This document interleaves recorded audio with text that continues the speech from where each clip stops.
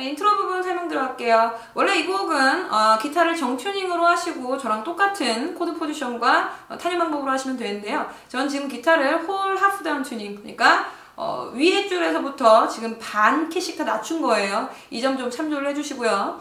일단 처음에 이제 인트로 부분에서 어, 피아노 voicing을 이제 그대로 살려야 돼서 지금 코드들이 조금 애매한 코드들이 나오는데 천천히 제가 그려드린 tab을 보시면서 천천히 해볼게요. 자, 16비트 swing feel 지켜주셔야 돼요.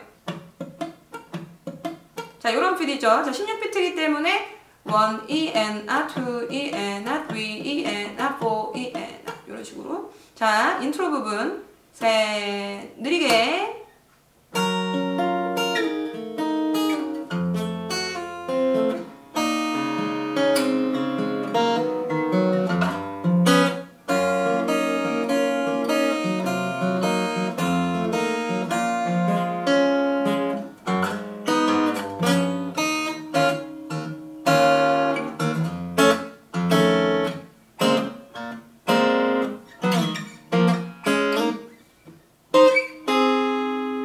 자 여기서 지금 주의하셔야 될 거는 지금 코드가 계속 당긴 박으로 슬라이드로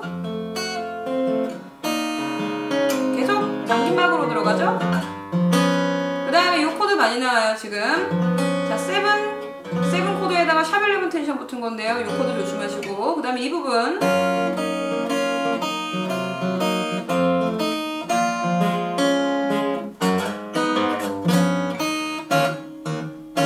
자 여기서 지금 이렇게 한번 스타카토 느낌 조심하시고요. 그 다음에 여기 베이스.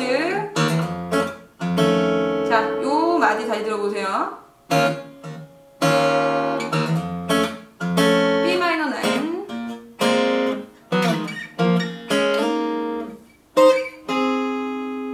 네, 여기까지입니다.